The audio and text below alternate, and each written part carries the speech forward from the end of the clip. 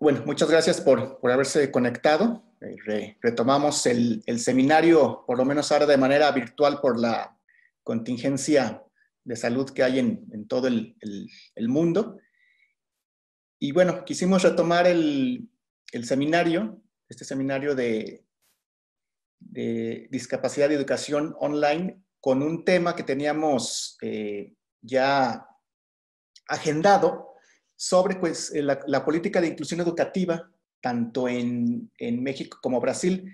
Para ello nos acompaña eh, Junio Ora de la Universidad Federal de Espíritu Santo. Él, cuando, él bueno, él este, se, se presentará de mejor manera. él estuvo aquí en México haciendo una, una estancia, una investigación, también con la temática de, de inclusión.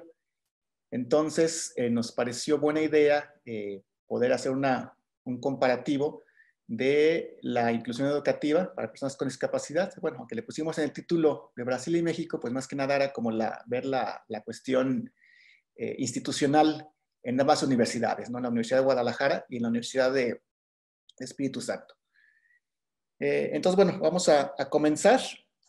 Eh, esto también es parte del cuerpo académico Inclusión y Marginación en la Era Digital, y eh, dentro de este cuerpo académico hemos, hecho el seguimiento de la política de inclusión educativa tanto en, México como en la, propia universidad. Y eh, lo que ha hecho la universidad respecto a la política que, ha surgido en esos años, incluso también como autocrítica, pues lo, que ha dejado de, hacer. Eh, entonces, bueno, para México tenemos primeramente este contexto eh, normativo, ¿sí? Eh, eh, la, la, la, ley o el convenio marco es la Convención Internacional de Derechos para las Personas con Discapacidad, ¿sí? que este lo aprobó la ONU en 2006, pero entró en vigor en 2008. Eh, y es un documento muy interesante porque marca los, derechos para estas personas, prácticamente señala que, que, pues deben de ser tratados como personas comunes y corrientes, eh, en el sentido de, los derechos, en el sentido de, del acceso a la educación, en, nuestro caso. Y eso ha traído eh, un poco de controversias porque eh, los que son muy puristas para la convención, pues dicen, bueno, no debe de haber ninguna otra ley específica para ninguna persona con discapacidad, porque pues la convención lo es todo, y lo que dicta la convención eso debe de ser. Sin embargo, bueno, ya nos dirá Juno si, si en el... Eh, si en Brasil es así, eh, sabemos que en México el contexto particular de México pues obliga a que sí haya leyes específicas por lo pronto, eh, porque estos grupos vulnerables de repente se vuelven más vulnerables en, algunas situaciones. Eh, bueno, tenemos también la Ley General para la Inclusión de las Personas con Discapacidad de 2011. Había una que surgió en 2005, pero sin embargo después de la convención, esta ley de 2005 se, abrogó y se creó esta nueva de 2011, eh, más acorde a esa legislación internacional. En el caso de, nuestro estado de Jalisco, bueno, está la, Ley para la Inclusión y Desarrollo Integral de las Personas con Discapacidad del Estado de Jalisco y sus municipios, que bueno, prácticamente pues eh, eh, sigue la, ley general y, habla sobre eh, algunos derechos para las personas con discapacidad en el Estado de, Jalisco. Y bueno, en el caso particular de la Universidad de Guadalajara, surgió primero el programa de Universidad Incluyente, también en 2015, eh, como un programa para eh, apoyar a los alumnos con discapacidad en la, en la Universidad de Guadalajara. Eh, en 2018 se creó el Código de Ética, ¿sí? porque no fue suficiente el, el programa de Universidad Incluyente, no fue suficiente. algunos profesores, incluso a la fecha, pues todavía se negaban a, por ejemplo, si había un alumno con discapacidad motriz, y que tenía silla de ruedas y que, bueno, obviamente le era mucho más fácil estar en un edificio, en, los salones de abajo, pues todavía a la fecha tenemos profesores que dicen, no, pues mi, clase es en el salón que está en el cuarto piso y pues ni modo, ¿no? Este, yo no me cambio, ¿no? Eh, tuvimos esos problemas incluso en, en, el, en el CUCS, en el Centro Universitario de Ciencias de la Salud, ¿no? Este, donde bueno, se supone que tendría que haber más sensibilización y al contrario. Eh, y bueno, para eso se crea también el código de ética, no nada más pues con ese sentido, sino con, con, la, con algunas cuestiones que tienen que ver de cómo se debe comportar los, los profesores. ¿no? Nada más para personas con discapacidad, sino en otros temas, pero pues sí centramos al menos un par de, artículos que vienen ahí que sí van a, cómo debe de comportarse el profesor ante personas con, con discapacidad. Y bueno, fue al revés. La política institucional de inclusión de la universidad pues, se creó hasta diciembre de 2018. ¿Sí? Eh, bueno, para los que son abogados, eh, han dicho que ya esta llamada pirámide de Kelsen pues ya prácticamente no, no existe, ¿no? Se, se, modificó ahora con, con todo esto, ¿sí? Sin embargo, bueno, la lógica sigue siendo igual, ¿no? Aunque ahora le llamen este, compendio constitucional, algo así, este, finalmente eh, sigue teniendo la misma estructura, ¿no? O sea, encima de nuestra legislación está la Constitución, eh, inmediatamente después están los tratados internacionales, luego las leyes generales y federales, las estatales y los reglamentos municipales. Eh, aunque bueno, eh, ahorita los, los, juristas dicen que los tratados internacionales incluso están por arriba de las constituciones y que es lo que debe normar en todo el país, ¿no? Algo más ortodoxo que finalmente eh, no, no, ha permeado en todos los estados, no, no, estoy diciendo nada más en México, sino en todos los estados, finalmente la, constitución del país es, está eh, encima de todo ello, ¿no? Eh, bueno, ¿cómo define la, la, convención a las personas con, con discapacidad? Aquí está un, un, un, párrafo bastante eh, resumido, sí, pero son como aquellas que eh, tengan deficiencias físicas, mentales, intelectuales o sensoriales a largo plazo, que al interactuar con diversas barreras puedan impedir su participación plena y efectiva en la sociedad en igualdad de condiciones con las demás. ¿no? De ahí se ha yo he dicho en algunos otros foros, se ha medio radicalizado el, el concepto porque ahora hay eh, grupos de personas que, que este, defienden los derechos de personas con discapacidad y estos grupos dicen, bueno, la discapacidad no existe, lo que existe son estas barreras eh, eh, sociales y, la sociedad es la que crea la discapacidad. La discapacidad no existe. Y bueno, hemos dicho, bueno, si existe algo en la persona, esta cuestión, como dice aquí, deficiencias físicas, este, eh, mentales o intelectuales. Y claro, al interactuar con, con, diferentes barreras sociales, pues también ahí se, se agrava la situación. ¿no? Pero bueno, estamos también en este debate que, que pues, obviamente es un debate que, que continúa. Eh, y el posicionamiento conceptual que nosotros tenemos, en, en, tanto en el cuerpo académico como en la investigación que, he realizado, eh, es un, eh, sobre el modelo de la discapacidad, ¿sí? en, donde en un extremo tenemos el, la visión del médico biológico y en el otro el, el, del modelo social.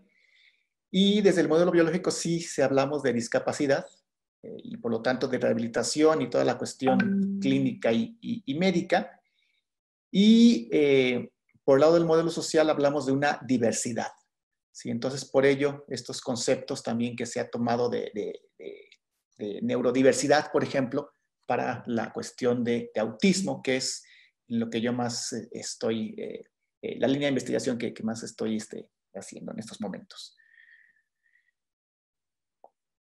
La definición de, inclusión, bueno, también tomamos esta de, la, de la Convención, ¿no? que es un proceso que permite tener debidamente en cuenta la diversidad de las necesidades de todos los niños, jóvenes y adultos, a través de una mayor participación en el aprendizaje, las actividades culturales y comunitarias, así como reducir la exclusión de la esfera de la enseñanza dentro de esta y, en último término, acabar con ella. ¿Sí? Esta, esta es lo que, lo que entendemos pues, como, como inclusión eh, eh, social ¿no? de, para las personas con, discapacidad. Eh, esto es una parte que yo he estado pues viendo ya ahora sí que, que en, la, en, la, investigación, cuando he platicado con diversos grupos de defensa de derechos de personas con discapacidad, que hay un, como les decía hace un momento, curiosamente, hay personas que están convencidos que la convención lo es todo y que no importa el contexto ni social ni normativo del país, Entonces, eh, pues ellos exigen que, la convención se aplique eh, tal cual y están en contra de cualquier otra eh, ley particular de apoyo a, personas con, discapacidad. En cambio, bueno, yo siempre he defendido la postura de que sí, claro, o sea, la, convención es un, marco legal muy importante pero que se debe de contextualizar al país, ¿sí? se debe de, tener el contexto y entonces actuar en consecuencia, no legislar en, consecuencia. Eh, yo el ejemplo pues, más cercano que tengo es precisamente el, de la Ley General de, Atención y Protección a, Personas con la Condición del Espectro Autista, que se, se, publicó el 30 de abril de, de 2015 y que casi de inmediato eh, un grupo de, personas de apoyo a una organización de apoyo a las personas con discapacidad intelectual la impugnó y logró que la Suprema Corte de Justicia de la, perdón, que la, Comisión Nacional de Derechos Humanos eh, eh, la demandara ante la Suprema Corte de Justicia de la Nación. Entonces, bueno, ahí ellos, la, discusión o la, la justificación de ellos era que pues como ya estaba la convención, en primer lugar no tenía que haber una ley particular para las personas con autismo y decían que en segundo lugar que pues violaba los derechos de las personas con autismo y bueno, otra, otra serie de, demandas por ahí, ¿no? Y curiosamente las personas que apoyan a las personas con autismo, que, este, los, padres de familia, eh, los, los terapeutas, etcétera, pues al revés, o sea, estaban esperando que hubiera una legislación que les diera respuesta porque a la fecha, en ese año, en 2015, no había eh, apoyos para las personas con autismo y también en, situaciones de, apoyos, por ejemplo, el DIF tenía programas para personas con discapacidad, para todas las discapacidades, menos para personas con autismo. ¿no? Entonces había varios factores que, que, para las personas con autismo sí era necesario tener una legislación eh, o al menos una normatividad eh, este, propia. ¿no? no sé, quizás dentro de 10 años este, o más o menos, que haya una cuestión de mayor inclusión, pues entonces sí podemos decir, pues ya no es necesario tener una legislación especial y, este, nos vamos con los derechos generales para todas las personas. Pero en ese momento sí era, era necesario, pues por, porque eran un grupo excluido dentro de ya los grupos eh, eh, vulnerables. Entonces, bueno, hubo una discusión muy interesante en redes sociales entre estas personas eh, que impulsaron la acción de inconstitucionalidad y, las personas, curiosamente, que, este, eh, con autismo, ¿sí? de, las que están alrededor de las personas con autismo. Y bueno, ahí eh, fue una discusión muy, muy interesante, ¿no? Incluso después hubo de ahí la intención de hacer otras, otras leyes y bueno, han estado en contra de, de ello, ¿no? Entonces, bueno, o sea, estamos hablando pues de, modelos de interpretación, ¿sí? es, eso, la interpretación de la, convención, pero sí también sobre los contextos reales ¿no? e institucionales que, existen eh, en nuestro país y estoy seguro que, que eh, Junio nos, va a hablar sobre, sobre otras cosas interesantes que pasan en, Brasil.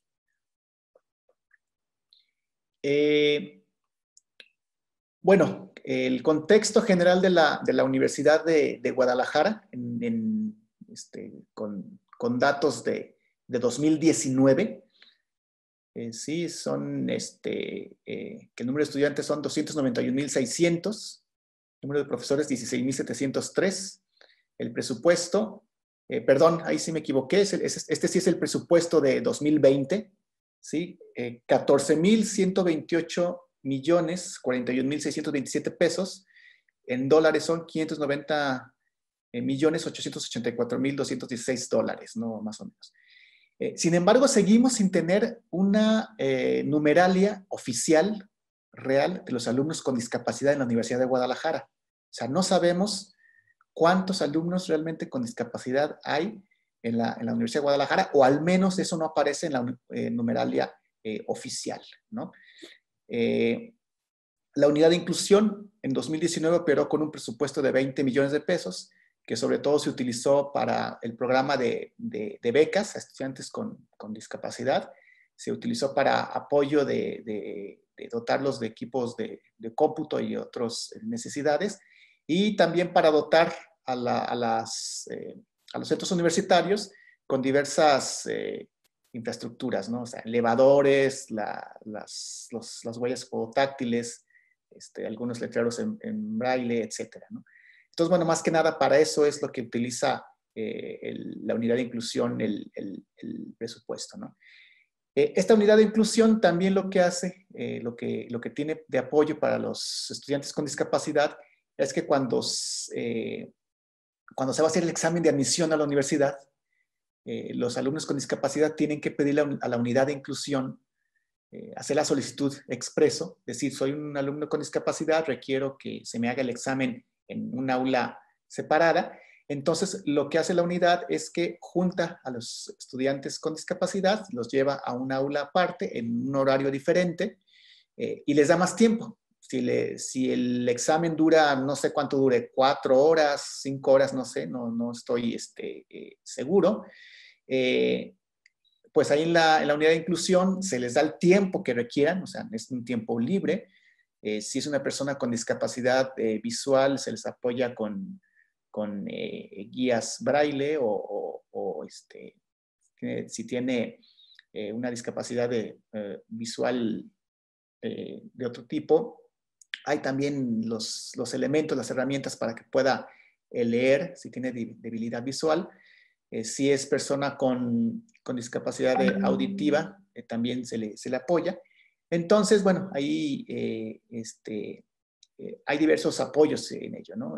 a mí me ha tocado participar un par de veces apoyando para las personas con, dentro del espectro autista, en donde la ayuda para ellos es más que nada que se les aclare las preguntas, ¿no? Este, a ver, esta pregunta dice esto, se refiere a esto, ¿qué contestarías tú? ¿no? Entonces, bueno, ya el, el, aspirante lo hace, ¿no? Esa es la primera fase de apoyo de la unidad de inclusión. La segunda fase ya es cuando son eh, alumnos, cuando son admitidos, eh, bueno, están estas, estas becas, están este seguimiento, ¿no? Este, que se le hace al alumno para apoyarlo, hablar con los coordinadores de carrera, eh, con los, hacer sensibilizaciones en los centros universitarios para, para ellos. Y finalmente, pues también en el, en el, en el egreso se les está apoyando, ¿no?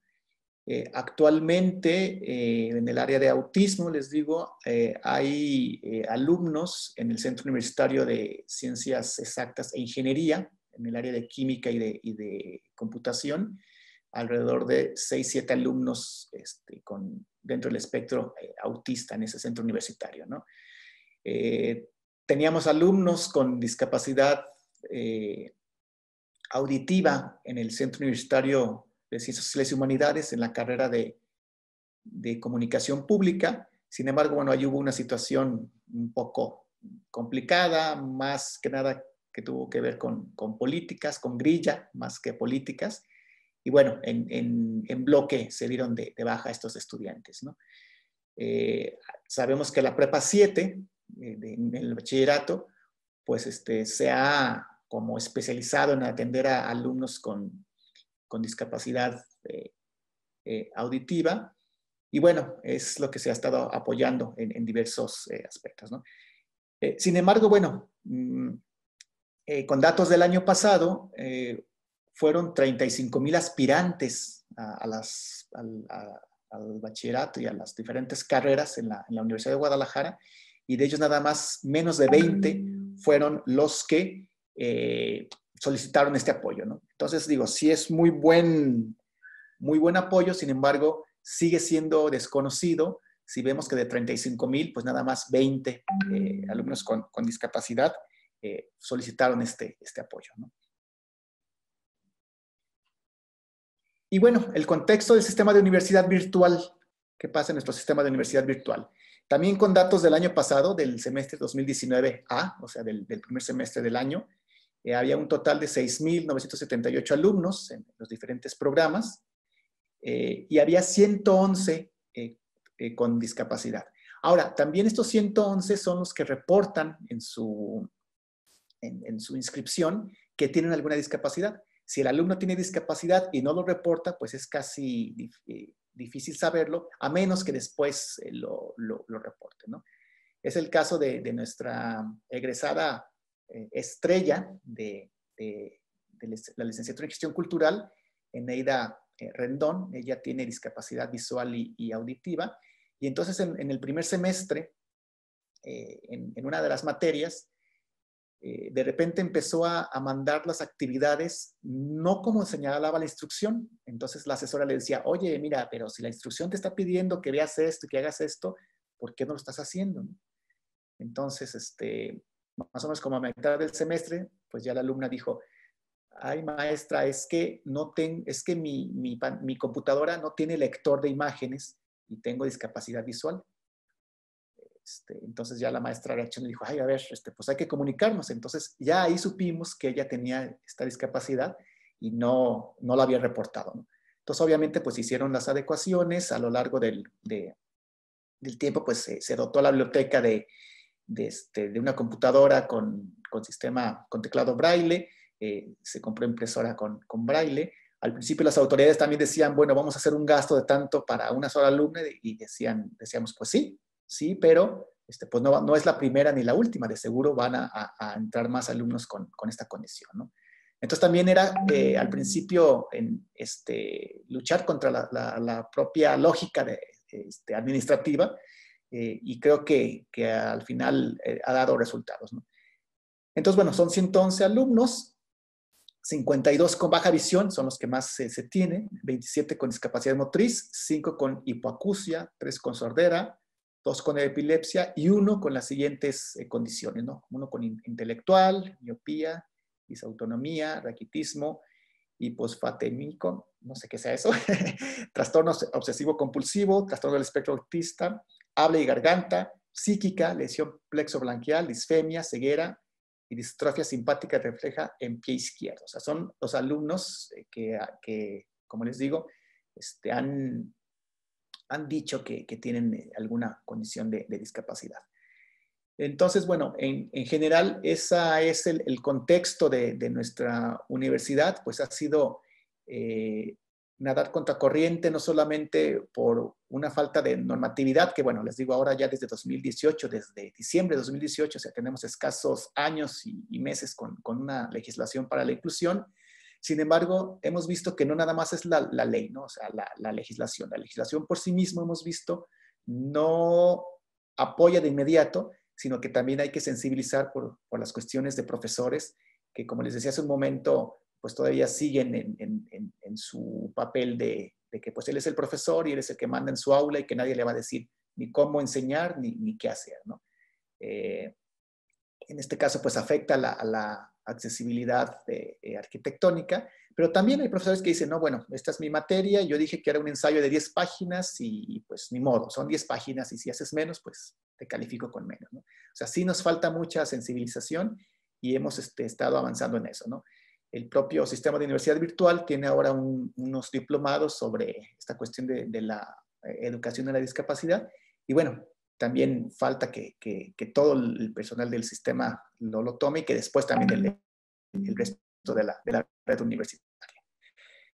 Eh, entonces, las cuestiones que, que tenemos, eh, quisiera pues dejarlo hasta aquí para darle la oportunidad ahora a, a Junio de, de, hablar y que también tengamos más que nada un espacio de reflexión entre todos nosotros. Entonces, pues, este, eh, adelante, Junior, eh, déjame quitar mi pantalla para si tú vas a mostrar algo, puedas, eh, puedas presentarlo.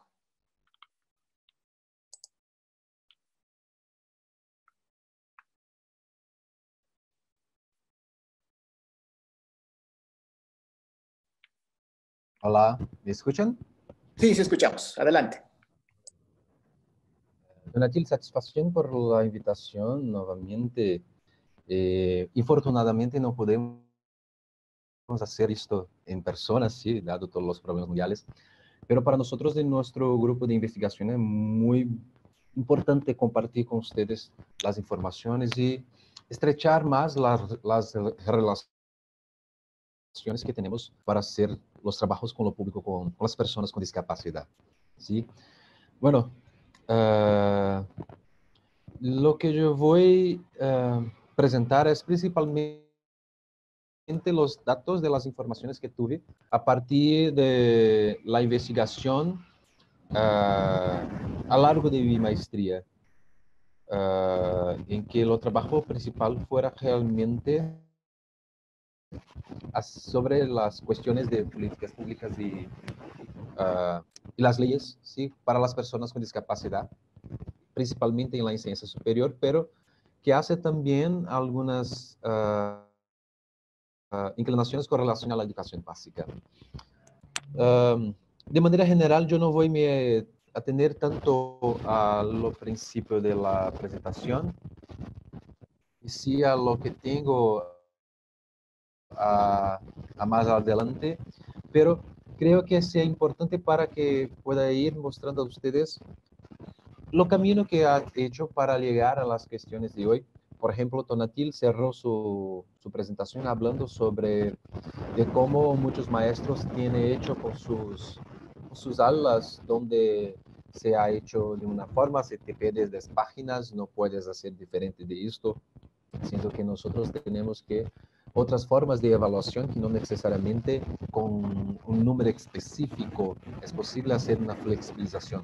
Pero en mi caso, para llegar a esta conclusión, también caminé junto con algo muy próximo a lo que Tonaltil eh, ha hecho, sí, que es la interpretación de las leyes, solamente para entonces llegar a algo donde tuviéramos uh, alguna forma de interpretación que sea más, uh, uh, más próximo de aquilo que se piensa sobre la transformación social y el comportamiento de los maestros, por ejemplo, y lo, los trabajadores, los obreros de manera general, de la universidad, los compañeros de, de esos alumnos, alumnos con discapacidad, para entonces uh, promover una enseñanza que sea de facto, que se respete las personas con discapacidad en todos sus ámbitos. Bueno, entonces, de manera general, mi investigación tiene completa vinculación con el grupo de investigación que ha hecho parte aquí en Brasil, de cual eh, tiene los, los, líderes mi director, profesor Edson Pantaleón, y el otro director también, profesor Reginaldo Sobrino.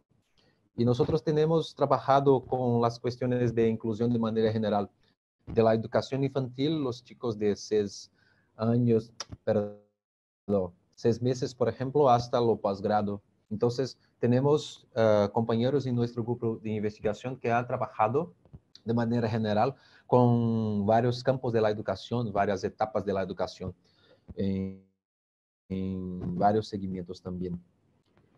Uh, bueno, entonces vamos a seguir aquí.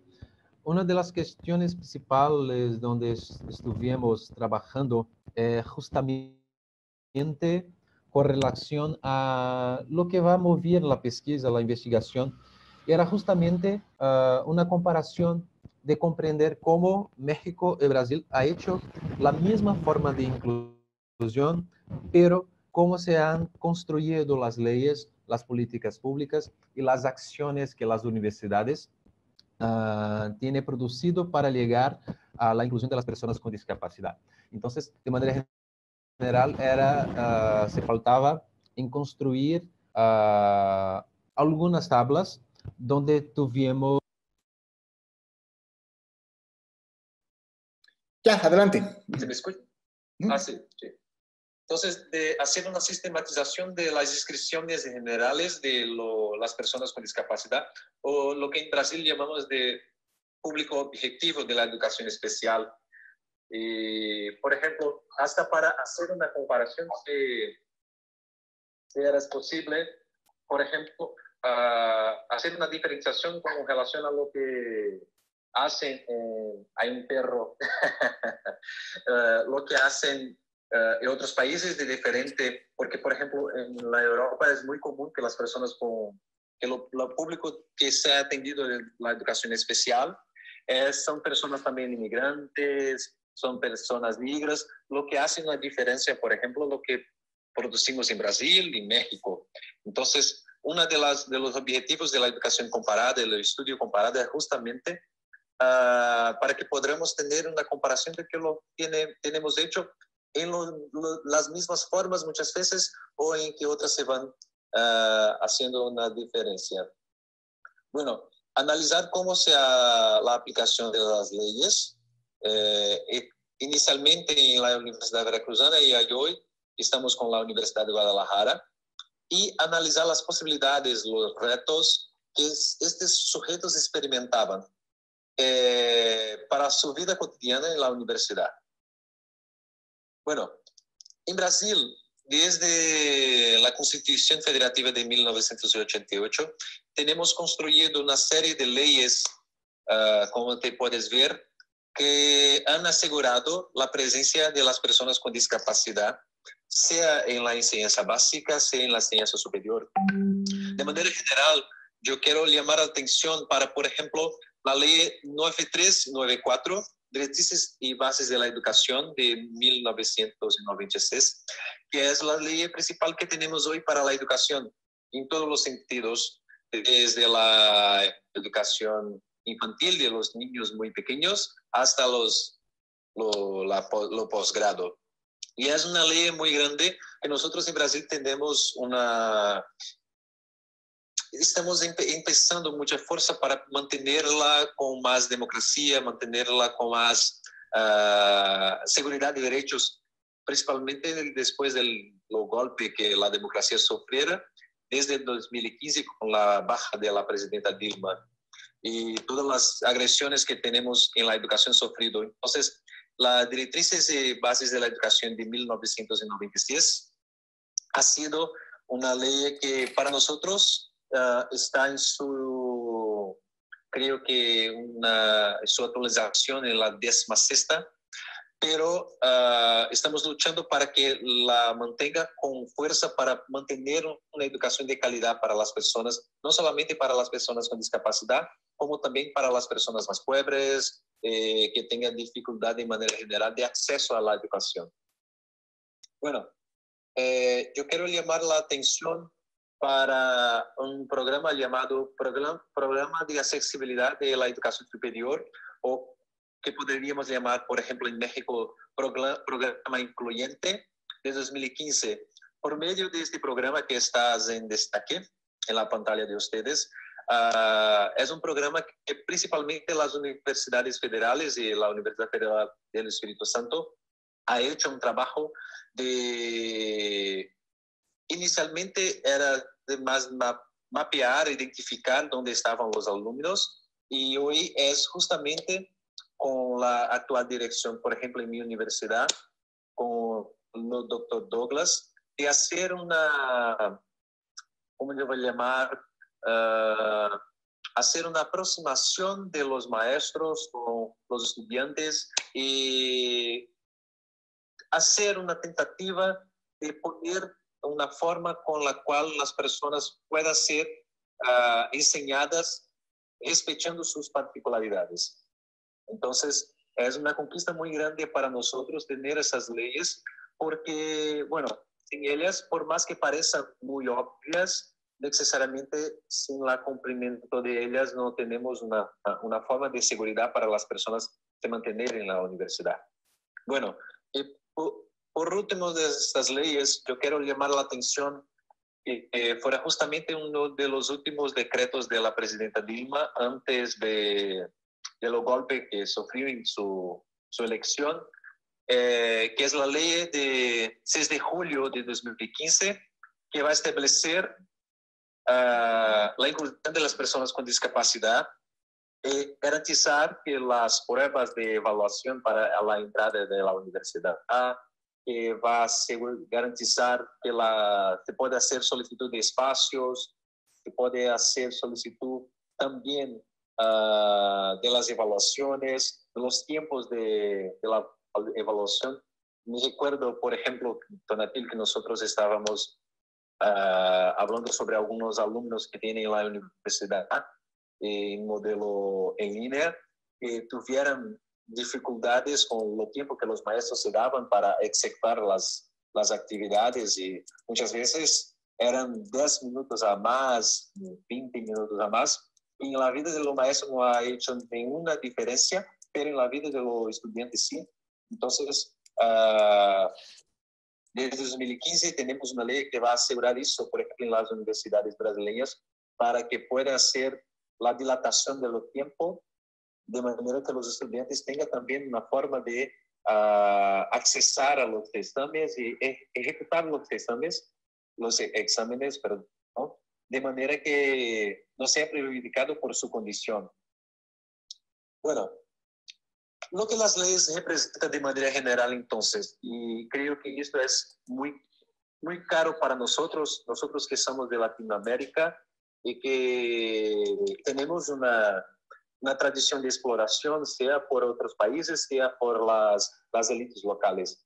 Uh, tener las leyes, por más que nos parezcan obvio uh, tener estas leyes, es una forma de garantizar la educación y que esta no se va a perder. O, por ejemplo, en el caso de Brasil, existen muchas organizaciones que trabajan con las personas con discapacidad y que eh, han pensado una disputa para tener los recursos, lo, lo que sean de dinero que debería ir para la educación regular, para la educación común o que no llamamos de educación escolar y que se van para esos espacios. ¿Cuál es el problema, por ejemplo, con esto? Es que en la medida que esos dineros, ese dinero se va para esos espacios, eh, hay una baja de aquello que podría estar en la educación común.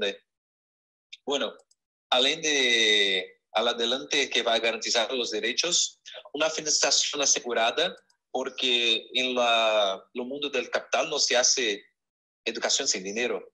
Una adaptación curricular, uh, la importancia de la ley de directrices y bases de la educación que va a garantizar que todas las personas, principalmente entre 4 años y 17 años en Brasil, tenga educación regular, gratuita y de calidad diferenciada. Es lo que nosotros tenemos empezado ahora para uh, una gran lucha por ser un reto muy grande para nosotros garantizar que, por ejemplo, los estudiantes cuando llegan en sus 15 años no se van a salir de las escuelas y van a continuar a frecuentar las escuelas.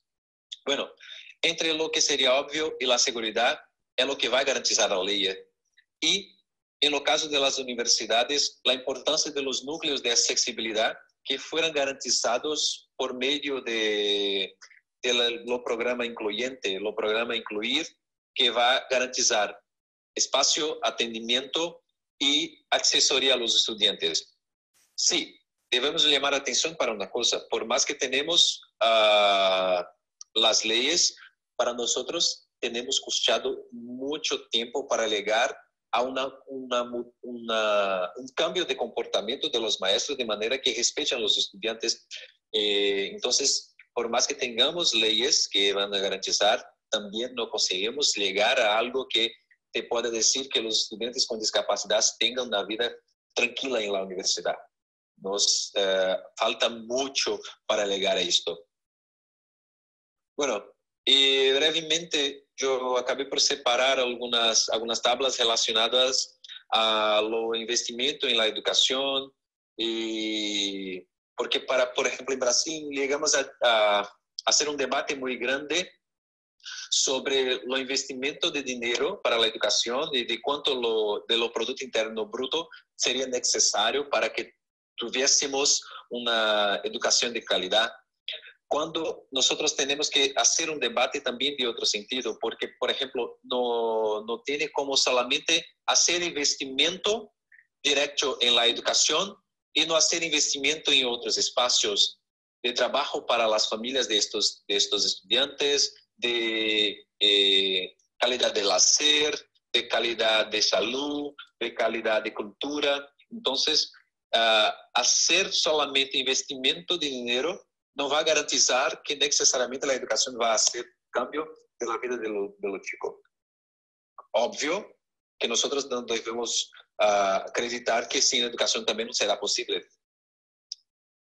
Bueno, en Brasil, de manera general, con relación a la educación básica, nosotros, por medio de estas leyes, uh, llegamos a ampliar uh, la cantidad de alumnos que tenemos en las clases regulares, las clases comunes, en las escuelas básicas.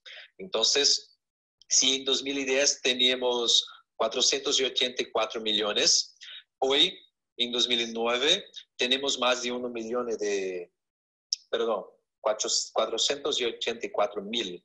Y hoy tenemos más de 1 millón de alumnos que están en la enseñanza básica, que tienen discapacidad y que esperamos que lleguen a la universidad.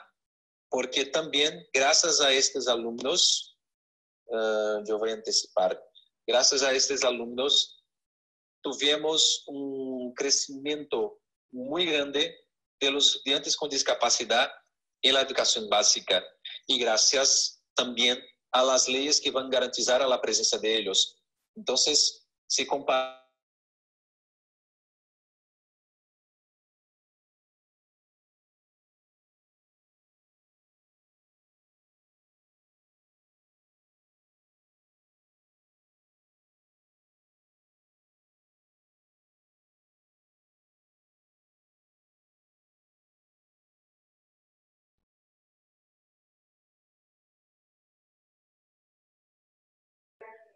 No se escucha. ¿Me escuchan ahora?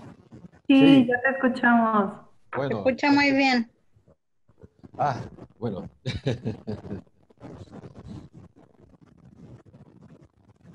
Vamos entonces para cerrar esta parte. Bueno,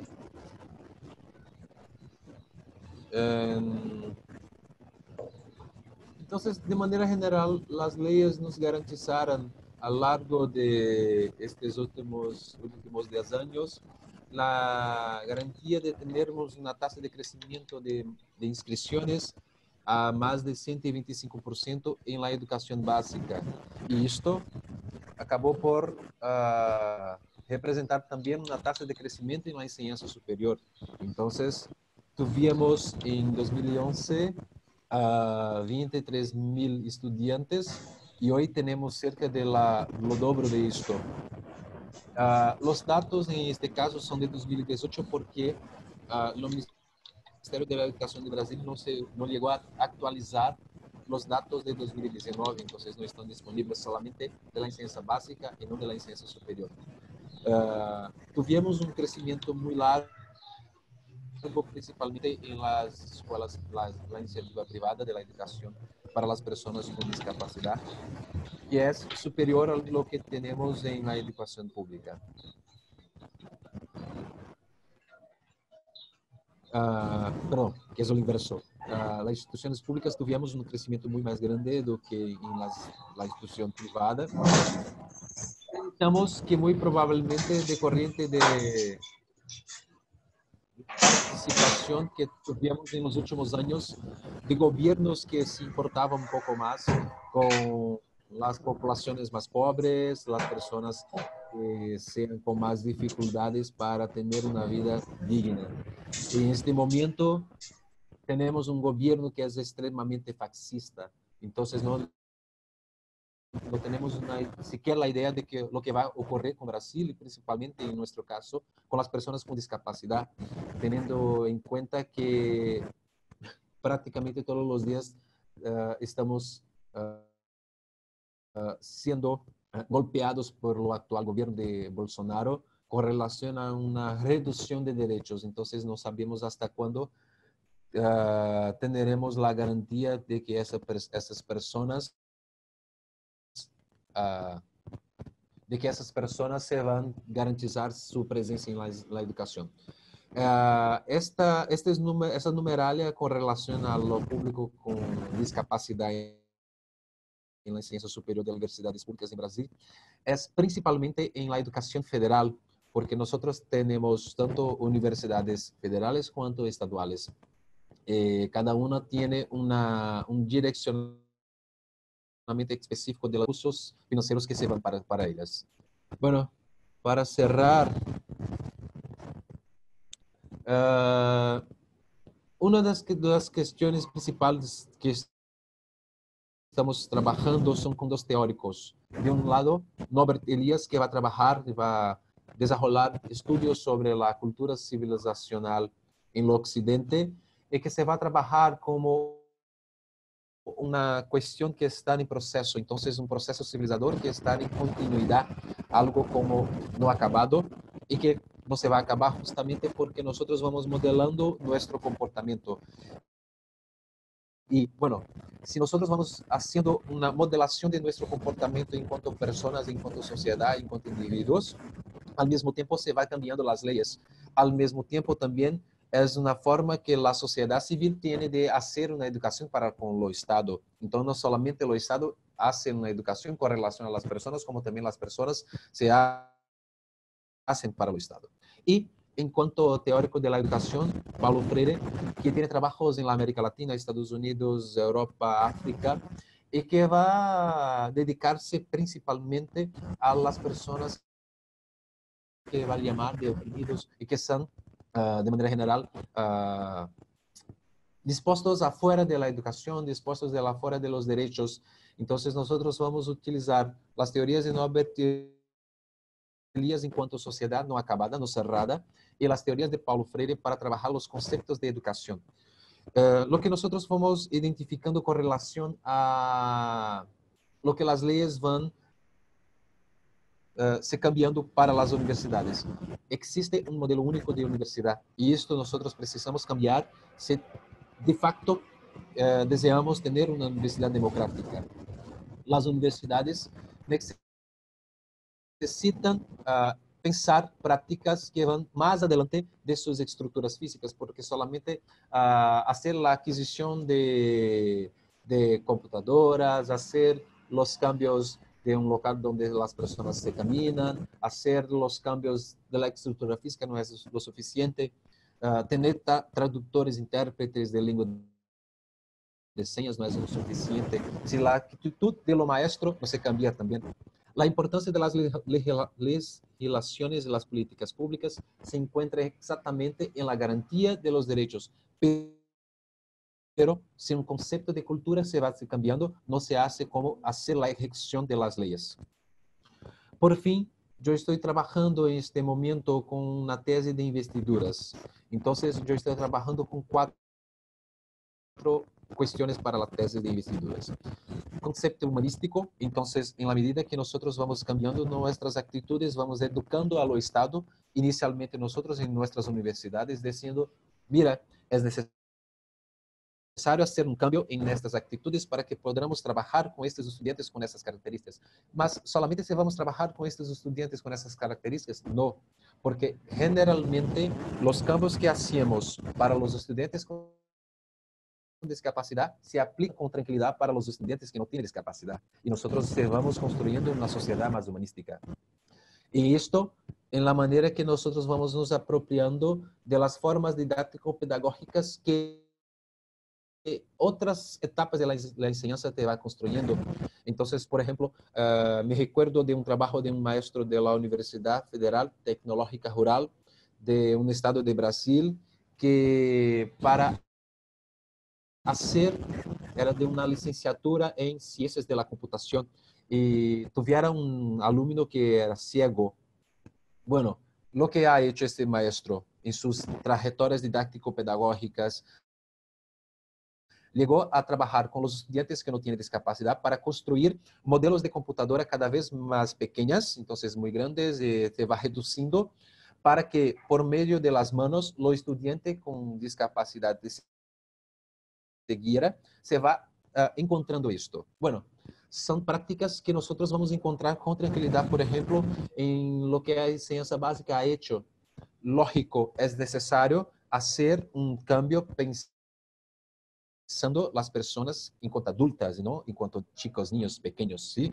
Pero si nosotros no nos apropiarmos de aquello que... Perdón, yo estoy acompañando aquí también porque tengo miedo de ustedes no me olvidar y el Tonati me llamar por WhatsApp. Entonces, si nosotros en cuanto trabajadores de la enseñanza superior, que no nos apropiamos de otras prácticas, que es justamente lo que tiene sido construido por la educación básica, por ejemplo, porque estos estudiantes con discapacidad no llegar a la universidad por nada, ¿sí? Tiene una construcción de conocimiento, de formas de aprendizaje. Entonces, es un concepto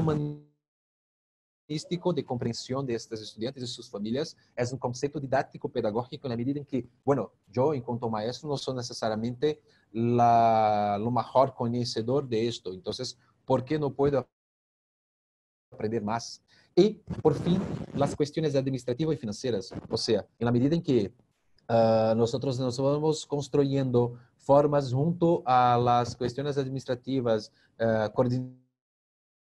de, de, licenciaturas, director de las universidades, los rectores, enquanto nosotros no ligarmos las cuestiones didáctico-pedagógicas para decir, bueno, precisamos comprar materiales, pero también precisamos hacer formación continuada de los maestros, infelizmente, infortunadamente, nosotros no vamos a tener cambio. Y, nuevamente, yo voy a regresar a, una, a, a algo que hablé en lo inicio.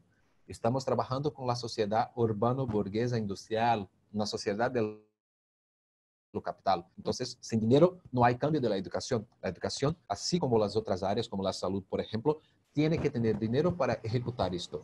Y si nosotros estamos cambiando los conceptos humanísticos, didáctico-pedagógicos y administrativos, vamos a necesitar de cuánto para producir conocimiento junto con los estudiantes con discapacidad. Bueno, es esto. Les agradezco.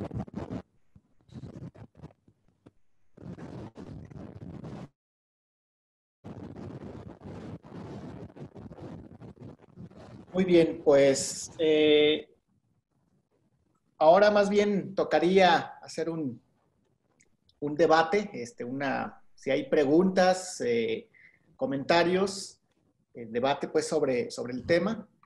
todavía nos quedan alrededor de 40 minutos, entonces podemos aprovecharlos para platicar tanto lo que hemos comentado eh, Juno como, como yo. no sé quién, quién este, quiera participar, opinar comentar. Este, Rafa, Blanca, Gustavo.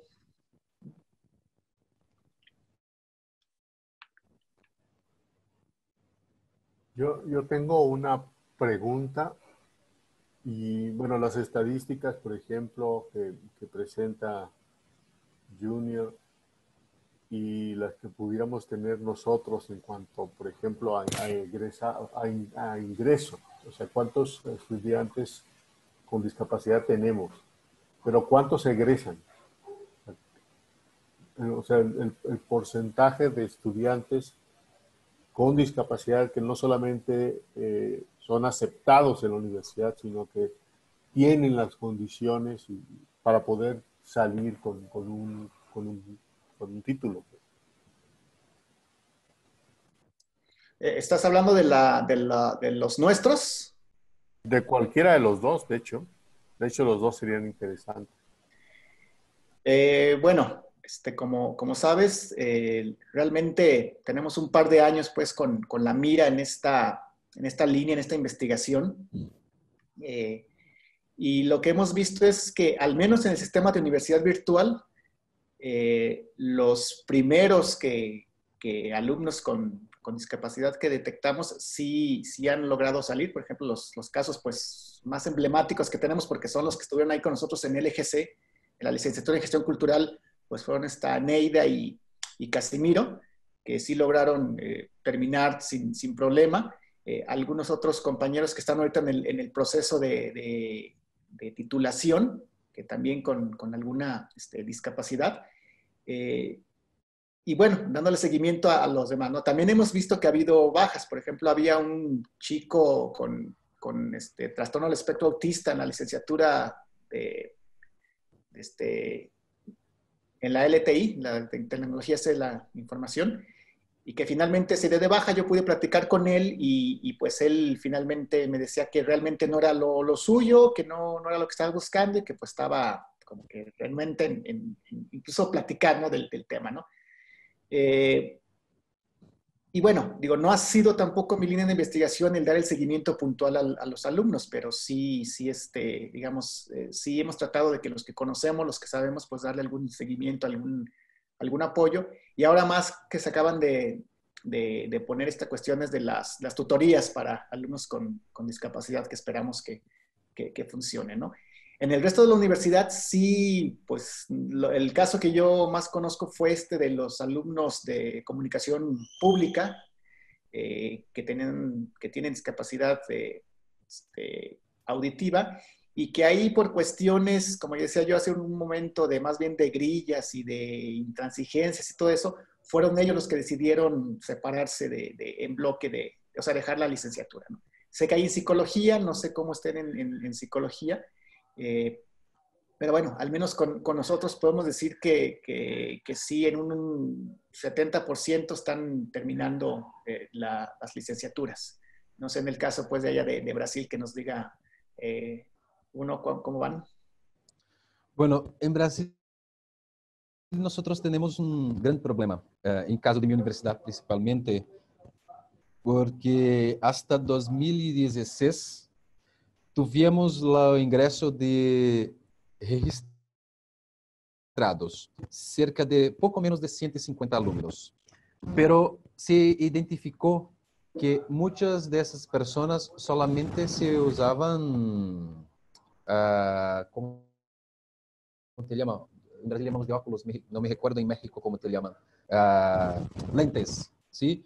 Entonces, muchas veces no eran personas que tienen lentes muchas, mucho fuertes, fuertes y se registraban como personas con discapacidad. Y los sector de accesibilidad de la universidad llegó a hacer una búsqueda eh, que llamó de búsqueda activa para identificar las personas que de facto tienen discapacidad, porque eh, hasta 2017 era solamente para la persona uh, describir en lo acto de la inscripción si tiene o no discapacidad. Entonces no, tenías que entregar un documento comprobando, no había una, persona que va a hacer una evaluación si de facto esa, esa, persona tiene discapacidad. Y después de esta búsqueda activa, activa en 2016, se bajó de poco menos de 150 personas para 84 personas con discapacidad. Entonces, es muy confuso los datos porque nosotros, como no hace una, no tenemos una herramienta uh, de la propia institución, uh, y ahí, ahí que entra la cuestión administrativa. Se a própria instituição não consegue fazer uma ferramenta que vai uh, uma contabilização desde a entrada, nós não temos como acompanhar diretamente quantos se vão sair, quantos se vão ser egresados o se va a abordar el curso en lo medio del camino.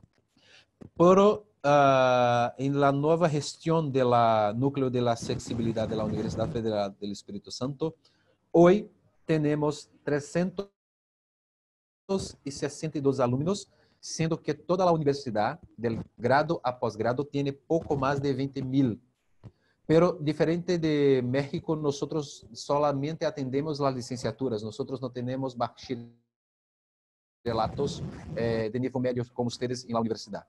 Então, hoje temos cerca de 362 alunos e temos, eu tenho, por exemplo, que fazer uma, uma secção solamente com o Dr. Douglas, que é quem coordina o núcleo de acessibilidade, para que podamos ter esses dados de quantos se vão egressados, porque solamente agora que com o Dr. Douglas se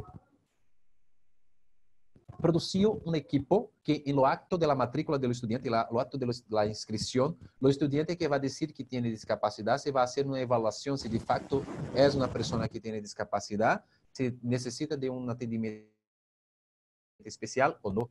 Então, estamos a, a construir tudo isto.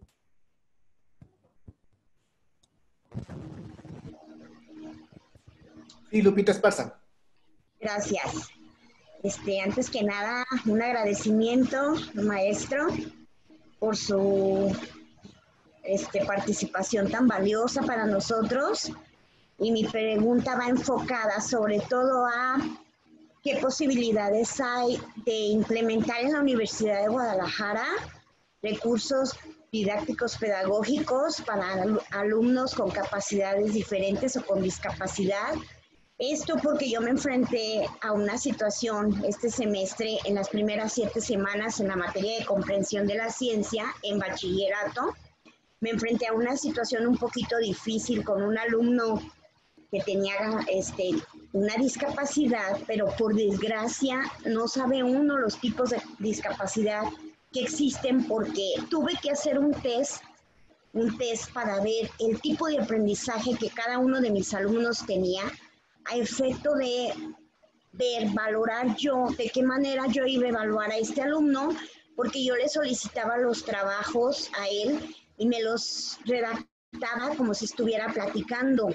Entonces los alumnos, los otros le hacían bullying y yo tuve que intervenir en orientación educativa porque no soy tutora, soy tutora nada más de, del sistema de universidad virtual. Tuve que intervenir en orientación, solicitar el apoyo a efecto de que me dijeran si tenían algún antecedente sobre el tipo de discapacidad que este joven tenía, tiene. ¿Por qué? Porque para mí fue difícil, fue difícil evaluarlo, fue difícil porque tuve que poner un, un, alto a los alumnos porque se burlaban de él. Entonces, para mí, yo digo, en la Universidad de Guadalajara debería de existir eso. O sea, por ejemplo, decir, ah, tenemos tantos alumnos porque para empezar no hay una estadística, no hay un total de alumnos con discapacidad, no se sabe. Comentaba el maestro Tonatiu de, de ese alumno que tenía este, discapacidad visual y que pues fue, fue necesario implementar los recursos necesarios para que ese estudiante pudiera continuar con sus estudios. Entonces, eh, lo, lo, este, lo aporto esto porque fue una experiencia para mí un tanto desagradable a lo que se enfrenta el alumno porque está, está en, primero, en, primer semestre en, en bachillerato eh, el bullying que le hacía, yo tuve que hablar con todos los alumnos, de orientación educativa. Entonces, en el caso de las, de las clases presenciales, uno puede detectar las discapacidades. Pero, por ejemplo, en el sistema de universidad virtual, hasta el momento que he sido tutora, no me he enfrentado a esa situación, no me han reportado si existe algún alumno. Yo lo primero que hago como tutora es enviarles un correo dándoles la bienvenida, poniéndome a sus órdenes para cualquier, este, cualquier asunto o cualquier cosa que pudiera yo apoyarlos, me lo hagan saber. Entonces, hasta el momento en el sistema de universidad, de virtual no he tenido ese inconveniente, pero en lo que es el bachillerato sí. Lo, lo digo porque, híjole, qué tan importante sería que nosotros como, como tutores tuviéramos el antecedente si existe, si existen dentro de nuestros tutorados alumnos con discapacidad, en el caso del sistema de universidad virtual.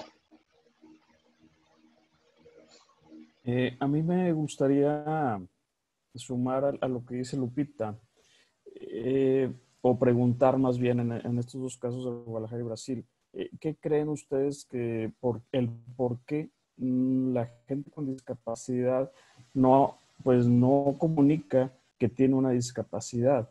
en mi forma particular, yo, tengo discapacidad visual, actualmente estoy haciendo una maestría presencial eh, y ahorita en línea por la contingencia. Y obviamente, digo, a mí me conviene decir que soy persona con discapacidad visual para que se me den las herramientas eh, necesarias. Eh, entonces, ¿por qué no hay una estadística o qué falta en las universidades para que exista una estadística de las personas que van a ingresar o que quieren ingresar y de las que ya están en las, en las universidades y qué apoyo se les está dando? el por qué si eh, la gente lo dice, la gente con discapacidad, o el por qué no, como dice Lupita. para ella es más fácil como tutora, sabes que fulano tal tiene tal discapacidad, pues tendré que darle tales herramientas, ¿no? En el tema de igualdad de condiciones, de oportunidades y de equidad. Entonces, eh, esa sería como mi pregunta. Eh, ¿Qué, pasa? ¿Qué, ¿Qué nos falta? ¿O qué falta como universidad y qué falta como persona con discapacidad? Eh, Ceci, ¿vas a preguntar algo? Bueno, más bien me hizo, me hizo reflexionar sus dos intervenciones, Tonatiu, con respecto a tres, eh, tres momentos que son importantes, ¿no? Es el ingreso, la permanencia y el egreso. Entonces, el ingreso, vamos a ver justamente estas dificultades que están mencionando, ¿no? O sea, ¿quién asume que tiene una discapacidad? Entonces, esto, aquí estamos hablando de una cuestión de identidad. ¿Cómo te, cómo te sientes tú si eres una persona con discapacidad y cuáles son, eh, dice eh, Erasmo, me conviene, pero hay veces que el costo de asumirte como una persona con discapacidad es este, eh, el, es el rechazo, es la segregación, o sea, hay veces que no es bueno que sepan que, es, que, que es una persona con discapacidad. Es más, podríamos pensar que yo no quiero que me valoren, aunque dice tú, quiero que consideren cuáles son mis condiciones, pero cuando yo me presento como una persona con discapacidad, que lo soy justamente, a veces se me trata de manera distinta, pero no hacia lo positivo, sino hacia lo negativo. Entonces, ahí tenemos un, ahí tendríamos que explorar estas cuestiones de identidad. Este, ¿qué gano yo si, o sea, más bien, si se me consideran en cuestión de condiciones idóneas para poder participar o no? En cuestión de ingreso. En cuestión de permanencia, creo que nos pega mucho como docentes, ¿no? O sea, ¿qué hacemos? Bueno, una vez que ya ingresaron, ¿qué hacemos para que los alumnos permanezcan? Me llamó mucho la atención esto que tú dices, Tonatiu, que aunque dices, lo señalas como fue grilla lo que ocasionó que todo un grupo de alumnos con discapacidad se fueran, yo creo que es más bien, tenemos que pensar qué hace, qué hace, la, qué hace la universidad para que los alumnos, una vez que llegan, por ejemplo, que son los, los este, alumnos con discapacidad auditiva que regularmente se manejan como un grupo, porque es un grupo de apoyo, cuando no encuentran las condiciones se van como justamente como ese como grupo. Entonces no estamos perdiendo uno o a dos, sino estamos perdiendo a un cierto grupo, a un grupo considerable de cuatro o de seis. ¿Pero qué? Porque no encontraron justamente las condiciones para seguir. Entonces, las condiciones de permanencia tienen que ver con esto que señala Lupita también, ¿no? O sea, finalmente son alumnos que llegan y que no saben, que no se sabe cómo apoyarlos para que permanezcan y continúen y justamente llegamos a lo último, ¿no? Y egresen. Entonces estamos sí recibiendo muchos alumnos, a lo mejor creando condiciones para que presenten el examen, para que se seleccionen, para que vayan a las licenciaturas que quieren, pero tenemos un fuerte problema en permanencia y por lo tanto que pega al egreso de la universidad. Entonces, bueno. También por acá. También este, un comentario, Donatio. Eh, en ese sentido, es muy interesante, primero, hay que establecer un mecanismo claro para la identificación de las personas con discapacidad. Es, es, eh, simplemente las cifras, ya no vamos a hablar de los totales, sino la cantidad que están presentando. En el caso de Guadalajara, 111 personas, y en el caso de, la Universidad de Brasil, que nos platica Junior, son 362. Muy, es una cifra muy, muy, muy, muy pequeña. Y curiosamente, por las cifras que maneja Tonatiu, de los 111, casi la mitad son, baja visión. Muy parecido a lo que dice Junior, que la mayor parte de la gente que se identificó como discapacidad tenía un problema de visión leve. Esto es primero, había que precisar los instrumentos para la identificación. ¿Y eso qué implica, no? Otras personas que tienen discapacidad, si lo dicen, por ejemplo, vamos a plantearnos personas con discapacidad intelectual, ¿qué implicaría para la universidad? Aceptar ese tipo de personas. Primero es, entonces hay que precisar, hay que definir los instrumentos y una vez hecho esto, es la otra parte, ¿no? Esto que decía Junior, las condiciones. Él establece cuatro criterios, que pueden ser estos, eh, eh, cuestiones didácticas, administrativas, este, de infraestructura eh, y humanísticas, le llama él. Creo que coincide Tonatio en las experiencias que relata, ¿no? Es decir, ya una vez que se tienen a las personas, eh, no basta pues decir vamos a aceptarla, sino en qué condiciones vamos a aceptarla y qué responsabilidades implica. Eh, desde el punto de vista administrativo, nada más viendo las cifras que maneja Tonatiu del presupuesto que se da, el presupuesto se da para las cuestiones físicas, es decir, para equipamiento, etcétera, etcétera, que no está mal, pero no basta, sino otra parte que Lupita señala claramente, es decir, llega la persona, el maestro se enfrenta con un estudiante, hombre o mujer, y ahora la pregunta es, ¿qué voy a hacer? ¿Qué me va a apoyar? Entonces hay que pensar a construir una propuesta que permita eso, ¿no? Los apoyos. Eso yo creo que no es una respuesta, sino más bien una, un comentario para que todos nos llevemos esto y empecemos a pensar cuáles son las condiciones que deben permitir, primero, exigir instrumentos más precisos, eh, segundo, establecer propuestas mucho más claras para los maestros, y tercero, que yo creo que es interesante, eh, Cecilia está platicando con una mm, compañera de la Universidad de Guadalajara que está haciendo una investigación y la investigación está interesante porque la investigación es justo lo que estamos platicando. ¿Quién se asume con discapacidad? ¿Y qué significa asumirme con discapacidad? Esta es una pregunta que yo creo que todo esto está dando cuenta. Tenemos que empezar a construir una idea, como bien lo decía aquí una discusión teórica, si es o no discapacidad, ¿qué implica? Si es discapacidad, ¿qué tenemos que construir socialmente para entender que no es un adjetivo negativo? O si es negativo, tenemos que construir un adjetivo que entonces permita esta diversidad. Es algo que no depende de nosotros, pero sí tenemos que plantearlo. No, no depende de nosotros en lo individual, sino en lo colectivo, una construcción social que permita esto. Entonces, nada más dejo esto como comentarios y para que lo platiquemos entre todos. Gracias. Gracias. Este, eh, bueno, tiene, eh, vamos a, responder esta ronda y luego le doy la palabra a José Antonio y a Carol. ¿sí? Eh, bueno, sobre lo que preguntabas, Lupita,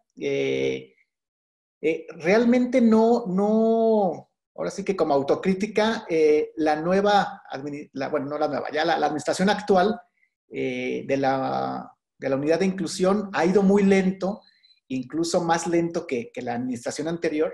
Y entonces, eh, estas charlas de sensibilización, estas charlas de, ir y, de apoyar han sido menos en esta administración. En la administración anterior sí este, fuimos como tres veces al, al CUSEI, alguna de las prepas, eh, pero ahora este semestre han estado así como muy, muy cerrados en, esa participación, este, lamentablemente, ¿no? Por eso también yo decía, pues a veces hasta, hasta contracorriente, a pesar de que pues está el, el, programa, ¿no? Eh, y, de lo que se hablaba de quién, de quién, este, ¿por qué los alumnos no, no se dicen que tienen una discapacidad? Bueno, algunos nos dijeron que no habían puesto que tenían discapacidad por el temor a ser rechazados. ¿no? O sea, ya cuando estaban adentro, que vieron que pues sí había, al menos en el sistema de universidad virtual, que sí había apoyos, que sí había manera de, pues de, de hacer las adecuaciones o los ajustes que, que eran necesarios, eh, pues ya, ya con confianza se, se dijeron personas con, con alguna discapacidad. Eh, pero le preguntamos, ¿y por qué no pusiste en la, en la hoja pues de, de trámite que tenías esa discapacidad. Y decía, pues es que pensé que a lo mejor no me aceptaban o a lo mejor me, este, no me aceptaban en la universidad sobre todo. Entonces, esa era la, respuesta que encontramos en varios de ellos, que hasta después nos dimos cuenta que, tenían alguna eh, discapacidad. ¿no?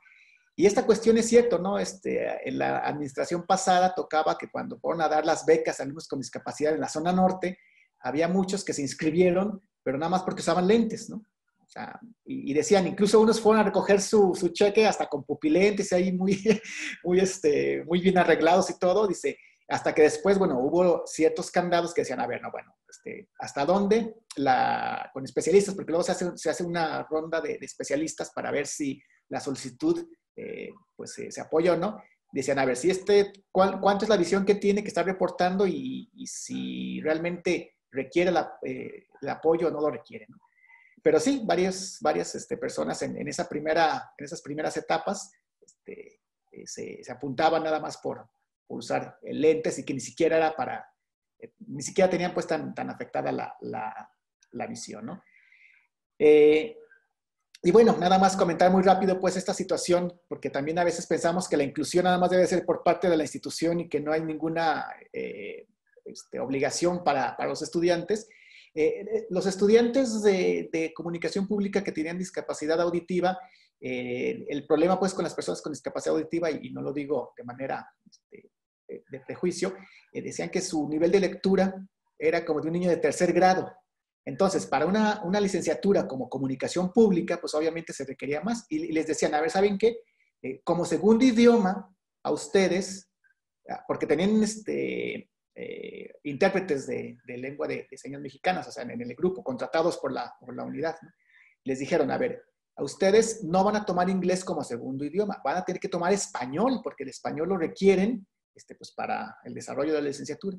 Y fue a lo que se negaron ellos, se negaron a, este, a estudiar español como segunda lengua, y entonces ellos en bloque pues dijeron que, que si los obligaban a estudiar español se, se salían de la, de la universidad.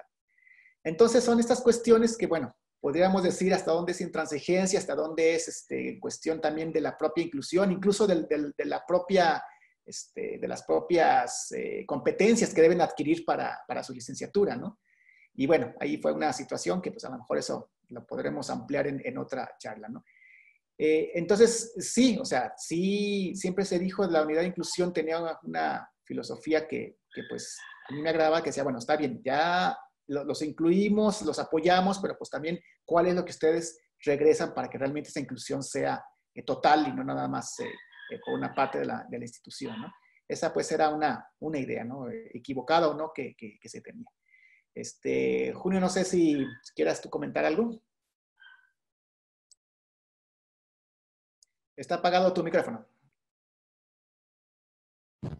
Pronto. ¿Escucha? Ah, bueno. Uh, hay algunas cuestiones que los compañeros uh, traído que justamente están exponiendo, que es justamente muy próximo a nosotros aquí también. Y yo voy a responder solamente para hacer algunas reflexiones de cómo podemos caminar para la resolución de muchas cosas. Entonces, por ejemplo, yo trabajo siempre con, y pensando en Brasil, nosotros tuvimos una dictadura hasta poco tiempo. Nuestra democracia en Brasil es muy frágil, no por menos sofremos otro golpe muy recientemente y tenemos un, un fascista elegido por las personas, o lo que es peor. Eh, eh, entonces, lo que quiero decir con esto, la cuestión de los derechos en Brasil es muy sensible porque es muy nuevo. Mira, nuestra constitución, diferente de ustedes, es de 1988. Entonces, muy poco tiempo para garantizar derechos. Es una primera cuestión. Uh, y una segunda cuestión es justamente en la medida que te va garantizando derechos inclusive para que las personas puedan frecuentar las escuelas básicas a final de 19, perdón, inicio de 1990, nosotros no teníamos siquiera 70% de los chicos frecuentando las escuelas. Entonces, esto de manera general, que decir de las personas con discapacidad. Uh, la política más reciente que va a garantizar esto que nosotros tenemos es de 2008, que va a ser una política más grande acerca de la presencia de los estudiantes en la educación básica. Entonces, ¿por qué yo siempre estoy haciendo uh, una habla? Estoy hablando siempre de la educación básica, porque si ellos no completan la educación básica, no llegan a la universidad. Entonces, lo que quiero decir con todo esto es que los rompimientos de los derechos históricamente en Brasil impidieron que los estudiantes vivieran, pudiesen llegar a las, las escuelas de manera general. Entonces, es muy nuevo para nosotros. Y esto creo que ayuda hasta para poder también retirar un poco de la, de la fuerza sobre los maestros, de los maestros no hacerem cambios de trabajo, porque nosotros todos estamos aprendiendo a cómo hacer. También hace esto, ¿sí? Eh, de cómo hacer adaptación, de cómo comprender otras formas de enseñar y de aprender, de aprendizaje. Uh, o companheiro falou sobre o porquê não há estadísticas. Bueno, eu vou dizer novamente sobre o caso de Brasil. Nosotros, en lo último año, en 2019, llegamos a quase cerrar as atividades em muitas de las universidades federales de Brasil, porque não teríamos dinheiro para pagar la, o fornecimento de água e de eletricidade. Llegamos a quase a este ponto. Incluyo, por ejemplo, en mi universidad, donde tenemos uh, muchos problemas con la dengue, sí, que la malaria, por ejemplo, en Brasil, que es, muy común. Llegamos a funcionar uh, tres meses sin la, lo ar acondicionado para se cambiar la, lo ar que estamos respirando la, durante las reuniones, durante las clases. Entonces, llegamos a funcionar, a, a hacer trabajos con muy poco, casi nada. Con mucha lucha, aseguramos, tenemos la seguridad de tener un trabajo mínimo. Y ahí yo voy a hablar ahora específicamente sobre el núcleo de inclusión. Solamente tiene el doctor Douglas y un funcionario para toda la universidad, para atender todos los campus. Entonces, que no es solamente un local, sí, tenemos más tres. Al, entonces, solamente dos personas y un estagiario y una persona de distancia, perdón, para hacer el trabajo con las 362 personas. Es un número muy pequeño, pero para tres personas solamente es un mundo trabajar con tantas personas así. Entonces, eh, es una de las principales cosas que nosotros tenemos dicho sobre la cuestión de los investimentos de dinero. Si no, y cuánto uh, no ocorrer investimento de dinero por parte del gobierno federal, de facto, nosotros no vamos a conseguir solamente por la buena voluntad hacer un cambio de, de trabajo junto a los maestros, de formación, de continuación, que no saben cómo trabajar con los estudiantes con discapacidad, aprendan a trabajar con los estudiantes con discapacidad, si tenemos tan pocos funcionarios para hacer los trabajos. Entonces, es hasta una medida que este gobierno que tenemos en Brasil tiene adoptado eu vou retirar todo para justificar a privatização da universidade pública. Então, eu vou deixar, deixar vocês sem dinheiro, sem materiais de trabalho, sem personal de trabalho, e assim eu vou justificar para a população de maneira geral. Mira, a universidade pública não tem como produzir conhecimento porque ó, eh, não está dando conta de atender. Então, temos que vender a universidade pública para a iniciativa privada. Temos pensado na, em, eh, em Brasil um grande, uma guerra contra este gobierno fascista. Muy bien, le voy a dar la, la palabra este, a José Antonio y luego a Carol y, este, después a, a Lupita. Hola, buenas tardes. Bueno, uh, buenos días a todos.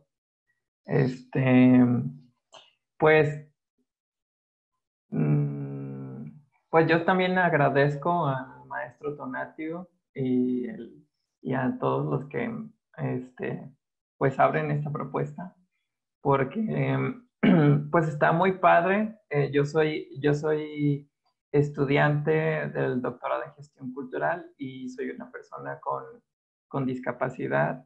Nací con parálisis cerebral que me trajo como, pues, me trae problemas de asimilación de información, retención de información, memoria y, la, pues problemas de movilidad.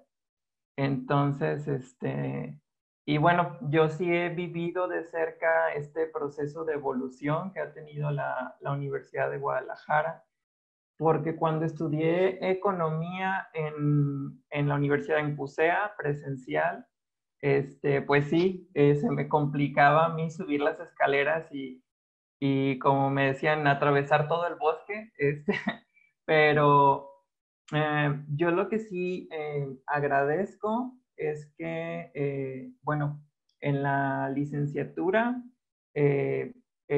sí había mucha empatía por parte de los maestros. Creo que el maestro Tonatio tiene razón con respecto a que la inclusión sí tiene que tomar en cuenta como las circunstancias del alumno y el alumno tiene como que, pues, eh, también atender qué es lo que tiene que hacer, porque hasta ahorita pues sí me cuesta mucho trabajo y también en parte, por ejemplo, uno se tiene que adaptar. Yo, por ejemplo, me cuesta trabajo, este, como lo entiendo de manera inmediata, pero mi cerebro como que no lo memoriza o como me dijera la psiconeuróloga, me, el resistol de tu cerebro está deficiente, entonces tienes como que hacer, hacer más ejercicio para eso, pero eso toma más tiempo.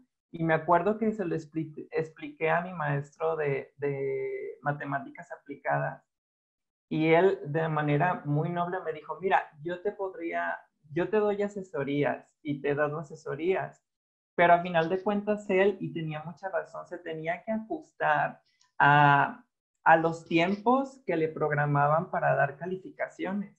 Entonces él lo que hizo eh, fue, eh, me dijo, te voy a poner sin derecho este, en tu Cardex y vuelves a tomar la materia en, en verano y la volví a tomar y saqué 95, ¿no? O sea, porque estaba consciente. Entonces, pero a final de cuentas, pues uno también se tiene que adaptar a, a, a tener ese sin derecho, pues porque no puedes obligar a, a, hacer al maestro cosas que de repente están fuera del sistema, pues es, es como un, un, un, poco también eso. Y, y, pues la verdad es que, eh, pues también mm, yo creo que tiene razón también el maestro Tonati en que sí debe de haber disposición, porque tanto en la licenciatura, en la maestría, ya la maestría y la, el doctorado los estoy tomando en el sistema de universidad virtual, porque precisamente esta parte de, de la movilidad eh, se me complica mucho y, y yo creo que, que, esta empatía y esta disposición que han tenido los maestros si, si se busca una respuesta a cómo, cómo hacer para que permanezca, creo que es, es un trabajo en equipo. O sea, sí hay disposición de los maestros, pero también, pues, eh, uno tiene que, estar ahí, ¿no? Eh, y, y, tiene que, que, pues, aguantar la carrilla y, este, y de repente, pues, no entender, o sea, es como un tanto, pues, adaptarte, pues, o sea, también es pedirle eso. Yo sí creo que tiene mucho que ver, eh, porque ahorita, bueno, soy un adulto emancipado que ha podido tener una vida productiva también en, en sus fuertes gracias a la Universidad de Guadalajara, pero tengo amigos con discapacidad y creo que una de las cosas que afecta mucho es que, no sé, por ejemplo, este, cuando yo estaba en la licenciatura que vivía con mis papás, que le decía, no entiendo, la respuesta de mi papá es, pues estudia, es que no se me pega, pues hasta que se te pegue, ¿no? Y dices tú, pues no me tengo que parar. Pero tenía amigos que el papá respondía al revés, ah, pues ya no vayas. Como si a ti te estuvieran haciendo algo malo, como si le estuvieran haciendo algo malo a, su hijo, ¿no? E, entonces, tiene mucho que ver eso. O sea, si, si también el, el, papá, pues como que, o sea, sobre todo en la etapa en la que son muy dependientes, no le dice, pues, es que me va a reprobar, pues que te repruebe, o sea, no, dile qué que, que, tienes que hacer para pasar. ¿Quieres estar ahí? Sí, pues pregúntale, ¿no? No que, ah, pues si no te lo dan, pues ni modo. O sea, tiene mucho que ver ese contexto familiar. Tiene que ver eso. Entonces, porque por ejemplo, yo también estudié en la escuela de música. Ahí no se puede estudiar, este, eh, virtual. Y yo tuve que pasar, que todos los sábados, este, tomaba una bicicleta en mi bici, porque eso sí lo puedo hacer. Si hubiera nacido con bicicleta pegada a mi cuerpo, no hubiera sido discapacitado. Entonces, este, y tenía que ir en la bicicleta y subir todas las escaleras y lo hacía porque quería aprender. Entonces, de repente también pasa con mis amigos que que van porque quieren el papel, no porque quieran aprender. O sea, tiene mucho que ver eso. Yo sé que tengo muchas deficiencias y que hay cosas que no se me pegan y cosas que no hago al mismo tiempo, al mismo ritmo que los demás, pero tengo claro que quiero aprender y que no me voy a parar y no me voy a ir hasta aprenderlo, aunque lo aprenda tarde. Entonces, creo que sí es una combinación y yo creo que por lo menos a mi experiencia, tanto en la maestría como en el doctorado como en la licenciatura, yo podría decir que yo pude sacar adelante mis, mis trabajos y mis tareas porque los maestros sí tienen empatía, los maestros sí se adaptan, los maestros sí tienen disposición, pero como en el ejemplo que dio el maestro Tonatio, pero si el alumno ya no quiere, ahí ya no se puede hacer nada.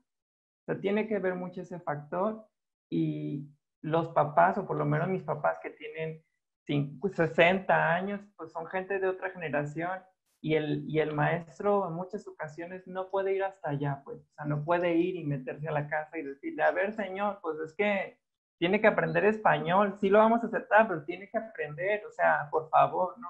No puede hacer eso. Entonces, pero lo que sí es cierto es que desde que yo fui a CUSEA, que tenía que subir las escaleras, que no había elevador, no había rampa, hoy ya lo hay.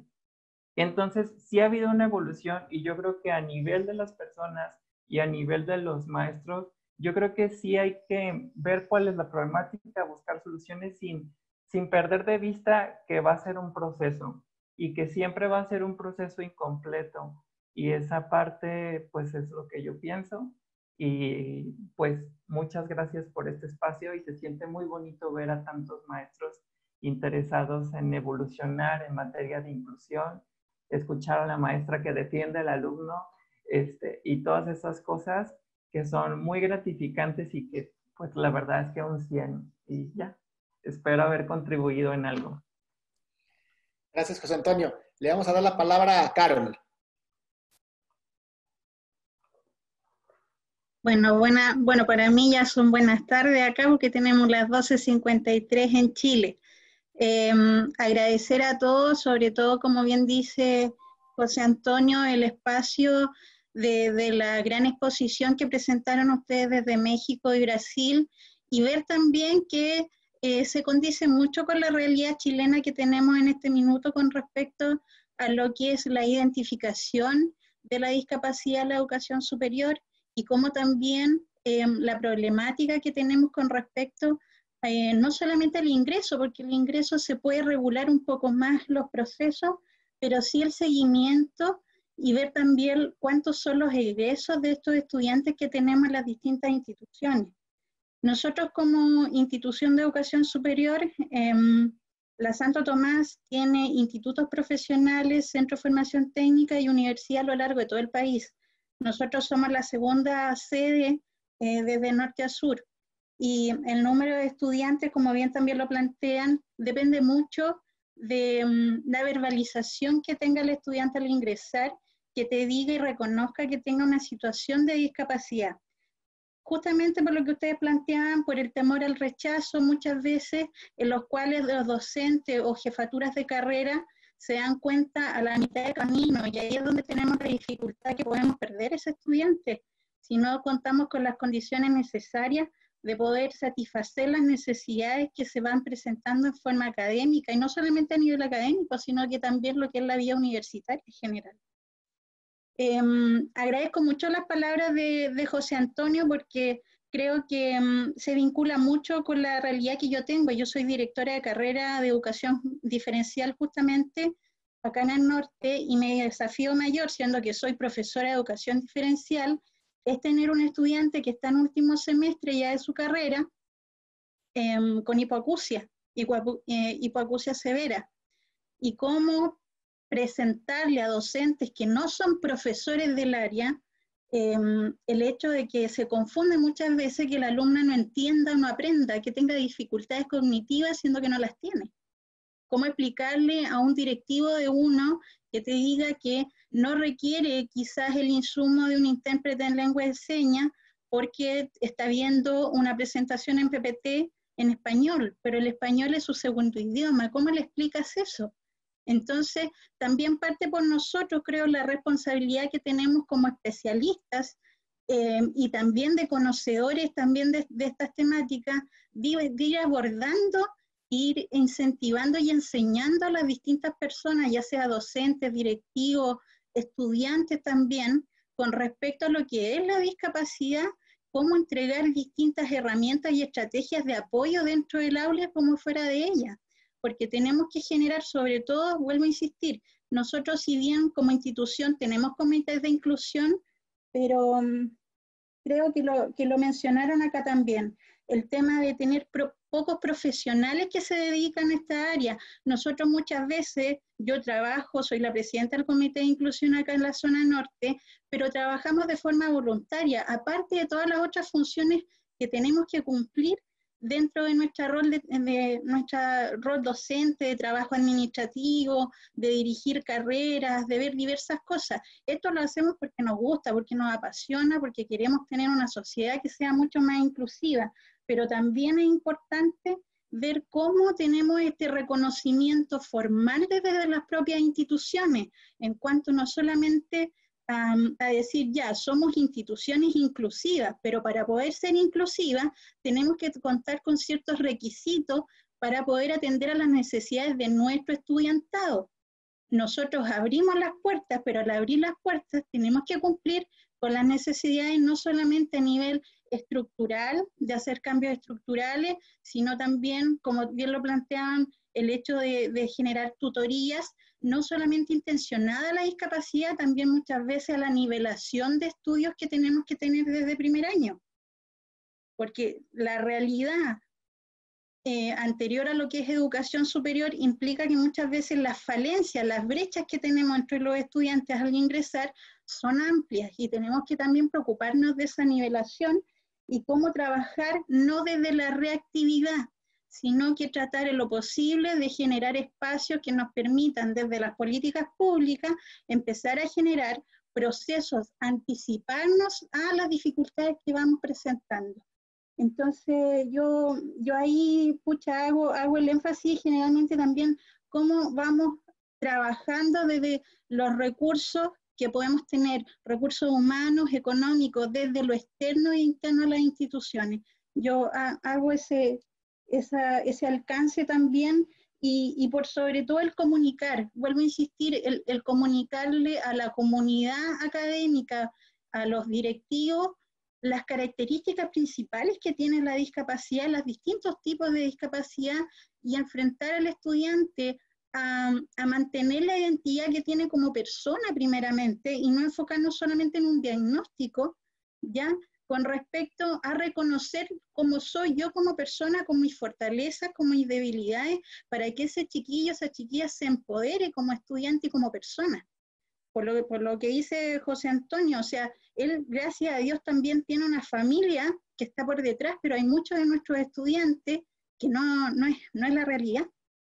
No es la realidad la cual tenemos, en el caso mío, mi estudiante que les digo con hipoacusia, Alexandra, sus padres, ella tiene 25 años y sus padres hasta el día de hoy no manejan lengua de.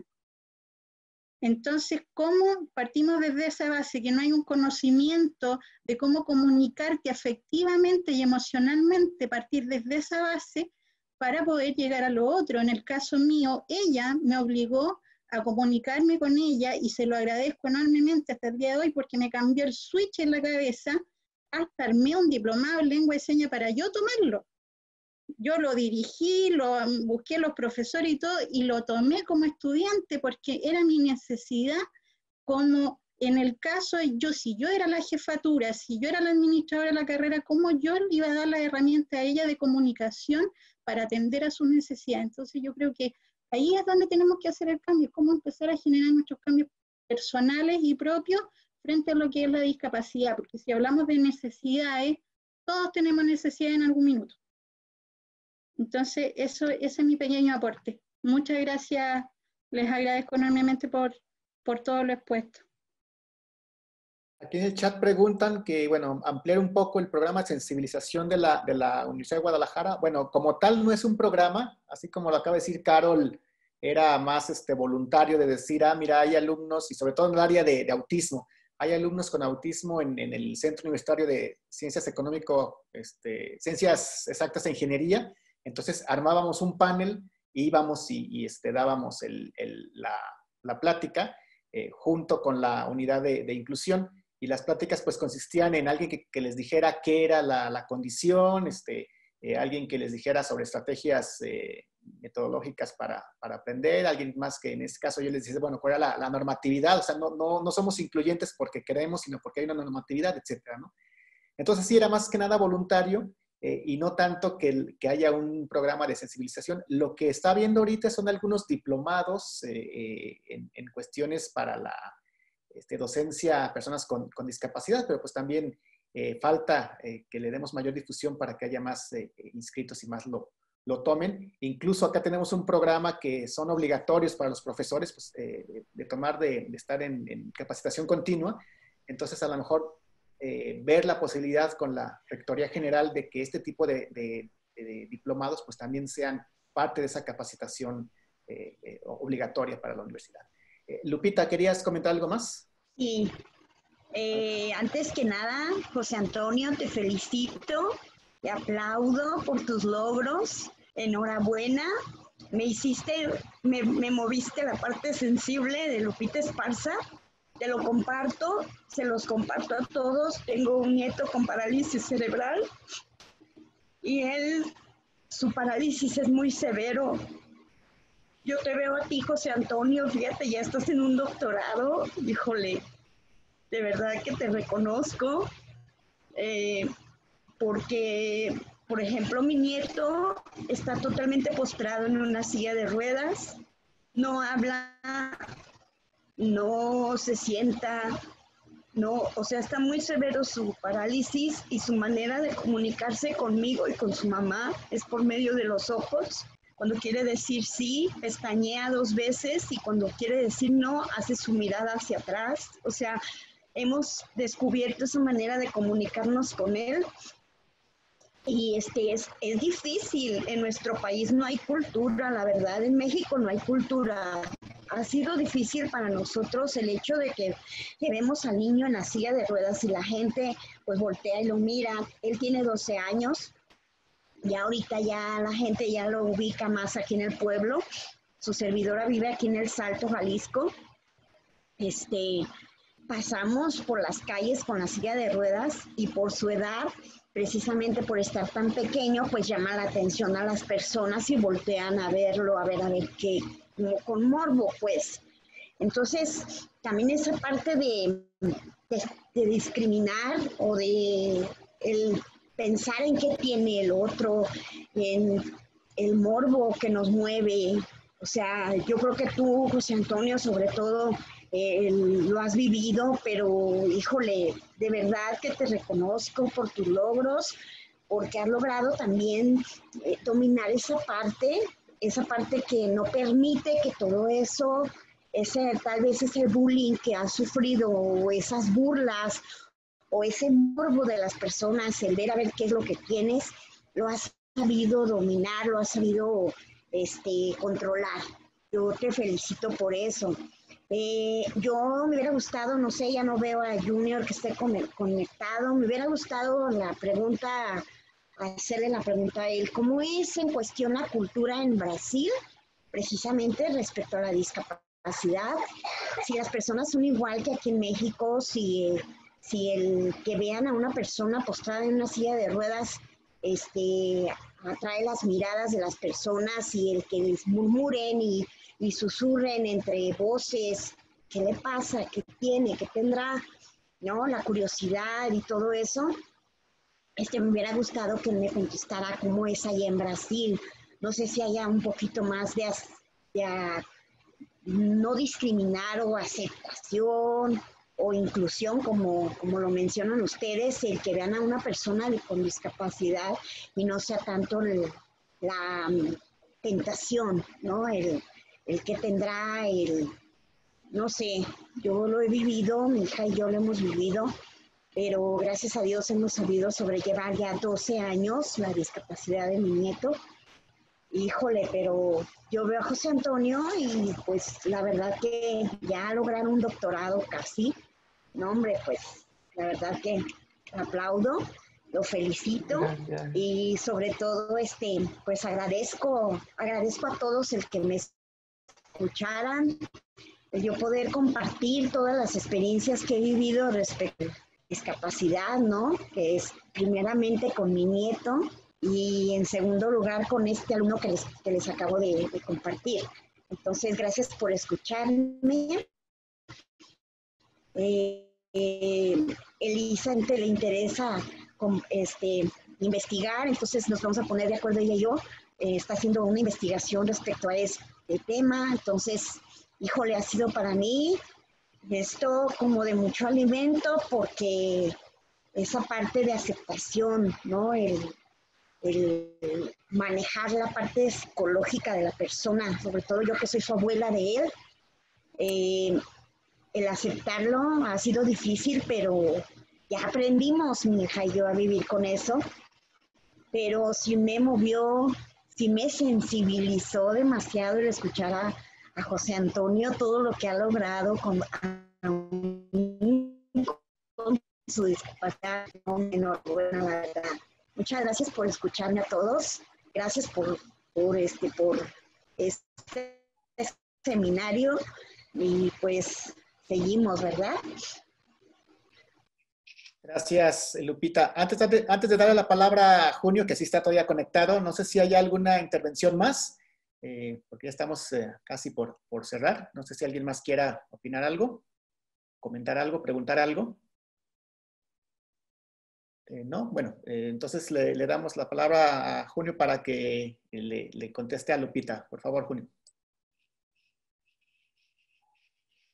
Lupita, uh mucha satisfacción por hablar con ustedes, sí, porque, eh, bueno, llegué a ir a México por dos veces, siendo que esta fuera la primera vez en Guadalajara. Y una de las ventajas de, los estudios comparativos es exactamente esto, poder tener un contacto e identificar mucho de que tenemos en nuestra cultura con la cultura de los otros. Entonces, sí, infortunadamente tenemos una cultura en la cual las personas con discapacidad no tienen derechos asegurados, garantizados cultural, cultural, culturalmente, a pesar de tener en cuanto a las leyes. ¿sí? Entonces, es un camino muy largo, es un camino muy grande también para nosotros en Brasil, en pensarnos en tener la concretización de estas para las personas con discapacidad.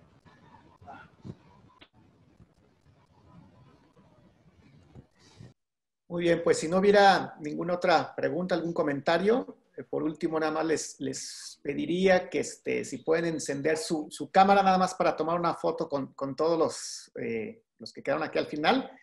Eh, y, y, bueno, terminaríamos con, con eso.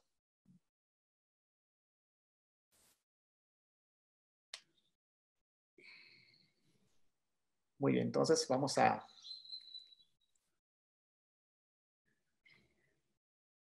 no sé si Josefina, si Elisa, Mónica, Larisa tengan cámara, si no, bueno, vamos a tomar la, la foto.